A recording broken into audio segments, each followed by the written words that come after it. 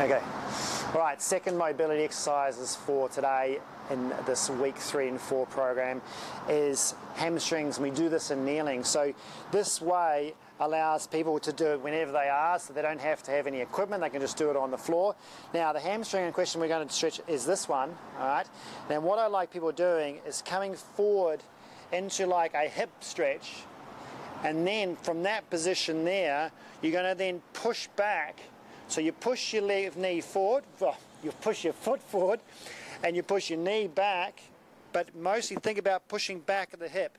So I'm trying to lengthen the back of my right thigh to the point where I can feel this. And again, you've got to try and keep this lower back in neutral. The more you can keep that neutral, the more you can sort of rotate and stick your pelvis that way, you will actually lengthen. So you've got to think about your bum bone, if you like, going that way to lengthen out the entire length through here. Now the beauty about this sort of stretch, like I said, you can really get into it and just as you move that knee back you can find all sorts of tightnesses through there. Because if you change the anchor point here okay you put it back there you're changing the mechanics through the back of the leg and you're changing the leverage. So there's different parts. You could work on the mid part you know you could come through here and push back. You can work on different areas and you can straighten that leg out okay and work on right in the front. So I would work through all sorts of ranges basing this knee forward and back, which will give you different parts of the hamstring to stretch out.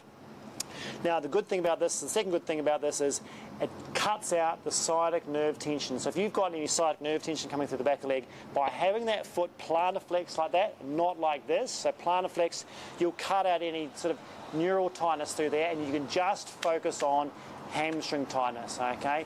Whereas, you know, if you did this sort of thing here and tried to stretch your leg out like this, you're going to kick in some neural tightness. So, so for some people, and they have too much neural tension through their back and things like that, and they haven't worked on it, that's going to feel pretty horrible and they're not going to lengthen out their hamstrings because they're just basically pulling on their sciatic nerve.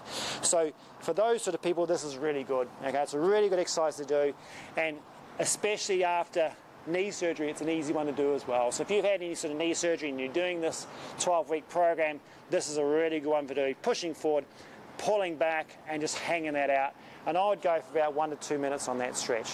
Okay, next up, rehab.